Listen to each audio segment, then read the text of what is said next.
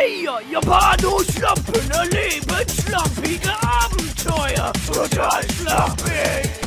Japano-Schlampen! Schlampig gezeichnet, schlampig animiert. Total stumpfe Anime-Scheiße. Japano-Schlampen!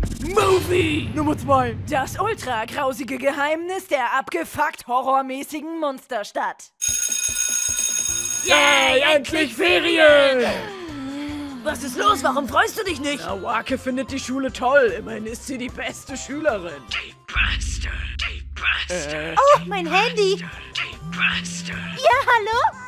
Ich bin auf dem Weg nach Hause, Okasan. Bis gleich. Ich weiß einfach gar nicht, was ich in den Ferien machen soll. Was habt ihr denn so vor? Ich werde die ganzen Ferien über mein neues Pokémon-Spiel spielen. Pokémon Steingrau. Und dann dasselbe Spiel nochmal, aber mit anderen Pokémon. Pokémon Staubgrau. Das wird der absolute Knaller. Tja, also mein Terminkalender ist auch ziemlich vollgestopft. Also als erstes muss ich ein paar Tage in Einsamkeit heulen und dann muss ich sehr viel Computerspiele spielen, um mich von der Einsamkeit abzulenken. Oh, und dann muss ich noch voller Selbstmitleid verwahrlost im Bett liegen und nichts tun. Den Termin kann ich echt nicht schon wieder verschieben. Ach, ich dachte, wir könnten mal verreisen oder so. Kommt mit zu mir, dann zeige ich euch die Reisebroschüren, die ich besorgt habe. Hier, wir könnten nach Deutschland und den Schwarzwald anschauen. Oder nach New York und shoppen gehen. Oder in die Karibik und Cocktails am Strand schlürfen. Oder ihr fahrt nach Fishcup Coast.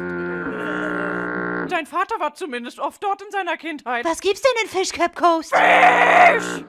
Und eine interessante Felsformation. Äh, das klingt... Super! Da müssen wir hin! Auf nach Fishcap Coast! Felsformation, Felsformation, Felsformation! Seid ihr auch schon so aufgeregt wie ich? Ja. Meine Okasan hat uns für die Fahrt Reis, Reisbällchen, Reisdreiecke, Reiswürfel, vierdimensionale Reishyperwürfel und ein paar Depri-Sonnen eingepackt. Es kann losgehen. Es fährt ja überhaupt gar keine Bahn nach Fishcup Coast. Das ist hier im Fahrplan auch gar nicht als Haltestelle vorhanden. Es ist nirgendwo eingezeichnet. Es ist auf der ganzen Welt gar nicht vorhanden. Wollen Sie diesen Globus kaufen? Oh nein, nein, ich guck mich nur um. Globusse! Hier gibt es Globusse! Wer Wie kann ein- sich so ein Laden hier halten? Drei normale Globusse, ein mit Sesam und ein Globagel mit Käse. Ja, bitteschön daher! Danke, Sie haben echt die besten Globusse. Oh, mein Handy.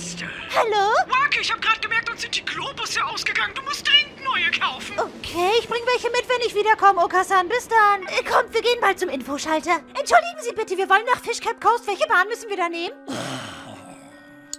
Da fährt keine Bahn hin. Aber wir wollen unbedingt nach Fishcap Coast. Ihr könnt den alten Bus nehmen, der in einer Minute fährt. Okay, können wir dann bitte ganz schnell Karten dafür haben? So,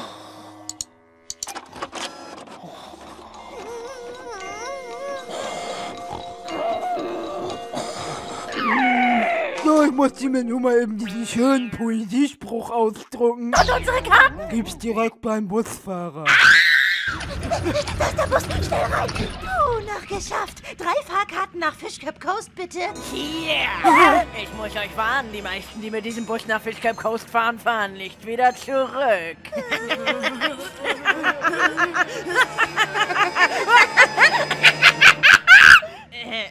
Entschuldigung, das Lachen war so ansteckend. Fishcap Coast wird super lustig. Ja!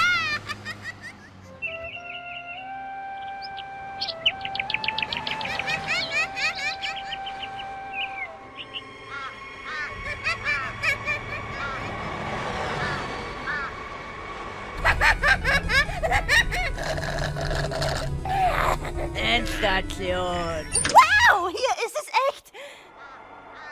Wie ausgestorben. Wo sind denn all die Menschen? Eine mysteriöse Seuche hat viele dahingerafft und die, die sie überlebt haben, sind so grauenhaft entstellt und hässlich, dass sie weggesperrt werden.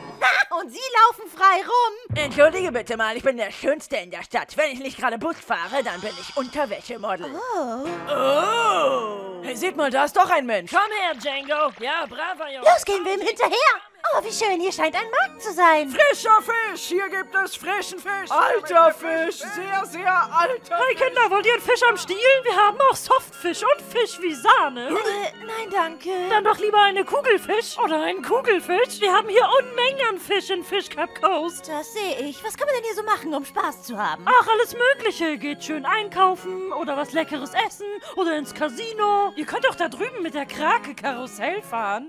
Hallo, wollen wir zusammenfahren? Gibt's doch was, was nichts mit Fisch zu tun hat? Ja, der Juwelier. Denn wenn wir etwas genauso viel haben wie Fisch, dann ist es Gold. Oh, lasst uns da hingehen.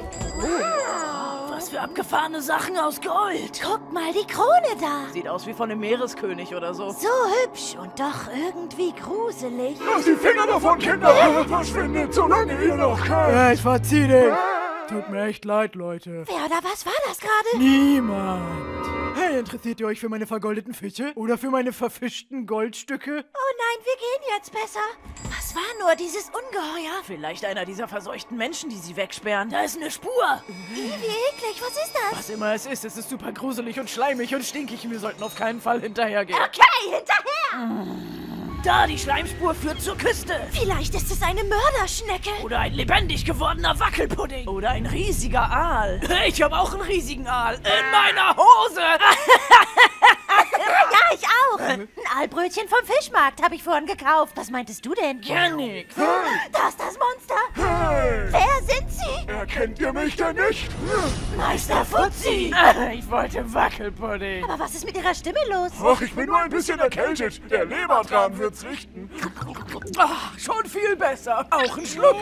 Huch, hier habe ich aber rumgeplört. Machen Sie auch Urlaub in Fishcap Coast? Nein, ich verbinde mit diesem Ort nur Traurigkeit. Ich bin hier, um das Grab von Mrs. Fuzzy zu besuchen. Ihre Frau ist hier gestorben? Nein, meine Privatjacht. Bin vor Jahren mit ihr an dieser verdammten interessanten Felsformation aufgelaufen. Felsformation? Yes. Früher war das richtig schön hier und die Leute haben alle normal ausgesehen und dann hat sich alles verändert. Ja, die Seuche muss schrecklich gewesen sein. Oh, das war keine Seuche. Hört zu, ich kenne das Geheimnis und ich erzähle euch jetzt die wahre Geschichte von Fishcap Coast. Alles hat damit angefangen, dass im Jahre 1844 am Teufel gesagt, dass man Metalldrähte zur hellen Glut bringen kann. Tja, und so wurde die Glühbirne erfunden. Und was ist jetzt mit der Geschichte von Fishcap Coast? Äh, Scheiße, ich bringe immer alles durcheinander. Moment, hier habe ich es auch aufgeschrieben. Fishcap Coast und seine Einwohner waren früher ganz normal, nur etwas arm. Sie betrieben eines Tages Handel mit einem Inselvolk, was ganz viel Fisch und Gold hatte, aber an komische Meeresgötter geglaubt hat. Das Inselvolk sagte, glaubt doch auch an unsere Götter, die schenken euch Gold und die Fische schwimmen in Scharen zu eurer Stadt. An einer interessanten Felsformation wurden also plötzlich diese komischen Meeresgötter angebetet und plötzlich kamen viele Fische nach Fishcap Coast. Aber auch ganze Herden von Seemonstern sind gekommen. Sie haben alle getötet, die sich ihnen nicht unterwarfen. Deshalb gibt es in der Stadt zu viel Fisch und alle Leute sehen komisch aus. Das ist keine Seuche. Das sind die Kinder der Seemonster, die sich mit den übrig gebliebenen Menschen vereint haben. Hä, wie soll das denn gehen? Äh, Pass auf, Kleine, wenn zwei Fische sich ganz doll lieb haben und ein Kind wünschen, dann kommt der Storch und bringt 10.000 und die Eltern sterben, weil sie von Bären gefressen werden. Also überlegt euch gut, ob ihr Kinder haben wollt, das ist eine große Verantwortung. Okay. Alles, was lebt, kam mal aus dem Wasser. Es braucht nur eine kleine Veränderung, um wieder zurückzugehen. Die Stadt ist nicht verlassen. Die meisten Bewohner haben nur den Wohnsitz gewechselt. Alle, die das Geheimnis kennen, müssen einen Eid auf die Götter schwören, sonst werden sie umgebracht. Man muss schwören, dass man niemandem etwas erzählt. Habe ich auch gemacht. Aber Sie erzählen uns doch gerade das Geheimnis. Ach, Scheiße! Lauft um euer Leben! Verschwindet aus dieser Stadt! Herr Busfahrer, wir würden jetzt gerne wieder nach Hause fahren. Oh, tut mir leid, wir können heute nicht mehr fahren. Der Bus hat einen Reifenschaden. Dann rufe ich meine Okas-An an, sie sollen uns abholen kommen. Oh nein, ich habe keinen Empfang. Ja, unser Handysendemast ist auch kurzfristig ausgefallen. Hier muss doch irgendwer ein Auto haben. Ja, ich habe ein Auto. Ich würde euch ja gern mitnehmen, aber eine Schwertfischfamilie hat darin ihr Nest gebaut. Oh, wie süß. Warum sind hier so viele Schwertfische? Hey, da drüben stehen drei niegelnagelneue Fahrräder. Ja, damit können wir fahren. Nein, wartet. Es sind keine Reflektoren zwischen den Speichen. Das ist nicht verkehrssicher. Damit können wir auch nicht fahren. Ja, dann müsst ihr wohl die Nacht in Fishcap Coast verbringen. Oh Mann, ihr Lachen ist so ansteckend. Ihr könnt ruhig bei mir übernachten. Ich habe ein Gästezimmer. Mit vor drei Jahren frisch bezogener Bettwäsche, einer fast funktionierenden Glühbirne und Ausblick auf einen schmutzigen Hof. Und damit euch nicht langweilig wird, hier eine alte mit Fliegen beschmutzte Zeitung als Entertainment. Gute Nacht. Naja, eine Nacht werden wir ja wohl überstehen.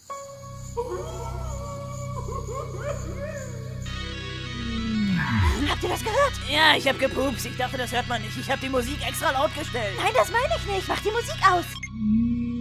Das hört sich an wie ein Tier. Ein großes Tier. Wo kommt das her? Ich glaube, es ist im Flur. Schnell, schließ die Tür ab. Es geht nicht, der Schlüssel ist nur gezeichnet. Und zwar ziemlich schlampig. Dann müssen wir sie verbarrikadieren. Perfekt. Wieder, das Ding ist vor der Tür. Schnell, wir können aus dem Fenster auf das Dach da springen. Sind wir nicht im Erdgeschoss? Okay, wir müssen raus aus der Stadt. Notfalls eben zu Fuß. Ich habe das Gefühl, wir werden beobachtet. Hallo. Da ist der Marktplatz. Wir haben es fast geschafft. Aber da stehen Fischköpp-Leute. Die dürfen uns nicht sehen. Ich wette, die stecken alle unter einer Decke. Dann müssen wir uns so unauffällig und lautlos wie Ninjas bewegen. Es kommt schon.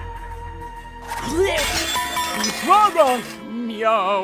Miau, Ach, das war wahrscheinlich nur eine harmlose kleine Robbe. miau. Robbe. Hallo, ich bin ein Fisch. Was macht er denn da? Fischemann, yeah, woo, Fische. Ja, Fische! Hey, wer war denn das? Keine Ahnung, interessiert mich nicht. Ich mach den Job nur fürs Geld. Wer du bist, weiß ich auch nicht. Aber wir arbeiten seit zwei Jahren zusammen und du warst auf meiner Hochzeit. Da gab's guten Kuchen. Fisch. Super Plan, dich als Fisch zu verkleiden, S. Plan? Los, verschwinden wir hier. Da ist das Ortsschild. Yes, wir sind raus aus Coast. Jetzt müssen wir nur noch über diese lange, baufällige Brücke. Die direkt übers Meer führt. Nein! Haben wir sie, lass sie nicht entkommen. Okay, jetzt wäre ein guter Zeitpunkt, einen alles zerstörenden Todesstrahl einzusetzen. Das geht nicht, den kann ich nur benutzen, wenn ich sehr wütend bin. Los, mach mich wütend. Ich habe deine Lieblingslocke abgeschnitten. Wake, ist etwas Schlimmes passiert? Es ist etwas mit ihrer Lieblingslocke passiert. Meine Lacke! Schneid meine Lacke ab, du Ja, es hat geklappt. Das wird sie nur für einen Moment aufhalten. Schnell über die Brücke. Hallo. Geschafft. Auf Nimmerwiedersehen, Fischköp Coast. Wartet, was wenn noch mehr Leute auf die Idee kommen, hierher zu reisen? Um das zu verhindern, sollten wir die Brücke zerstören. Oh nein, die Monster kommen wieder. Schnell beeilt euch. Es geht nicht. Ich habe eine Idee. Selbstzerstörung aktivierter. Mach's gut, alter Freund.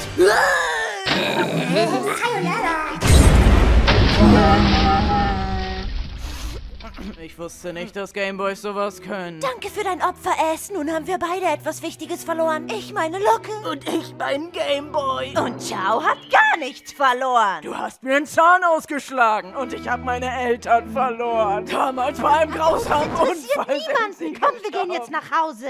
Aber vorher muss ich noch etwas Wichtiges erledigen.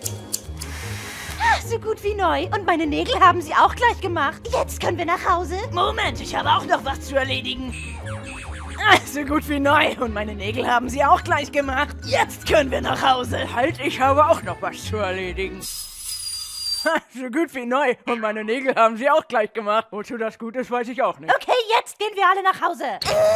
Oh, hallo Wake, du bist aber früh zurück. Hast du an die Globusse gedacht? Nein, die habe ich vergessen. Naja, macht nichts. Ich hol nachher welche von der Tanke. Okasan Fischcamp Coast. Das erzählst du mir alles morgen. Ich bin nämlich gerade dabei, ein Fotoalbum zusammenzukleben. Und wenn ich jetzt aufhöre, dann verliere ich meinen kreativen Flow. Aber Fischcamp Coast war grauenhaft und voller Monster. Oh, das tut mir leid. Deinem Vater scheint es in seiner Kindheit immer sehr gefallen zu haben. Du hast ihn ja nie kennengelernt, weil er sich kurz nachdem du geboren wurdest die Kugel gegeben hat. Bei seiner Diabetes hätte er echt nicht so viele Rumkugeln essen sollen. Aber warum war er überhaupt, als er klein war in Fischcamp Coast? Na, um seine Oma zu besuchen. Deine Urgroßmutter. Oh mein Gott, diese Goldkrone und ihr Gesicht. Ja, sie war potthässlich und ihr Schmuck auch. Na, dann geh mal schlafen. Ich bastel hier noch so lange. Oh nein, ich bin mit diesen komischen Fischmonstern verwandt. Werde ich mich jetzt auch verwandeln? Hallo, Wake. Urgroßmutter? Ich habe den Segen der Götter erhalten und lebe nun ewig unter Wasser. Komm zu mir. Nein, ich bin ein Mensch und kein Fisch. Aber auch du hast den Segen der Götter in dir. Wir warten auf dich. Oh, zum Glück war es nur ein Traum. Hä? Was ist denn hier los? Meine Füße! Ich hab dir, als du geschlafen hast, schon mal Schwimmflossen angezogen. Dann können wir morgen ganz früh ins Schwimmbad gehen, damit du in den restlichen Ferien noch Spaß hast. Oh, danke, Okasan.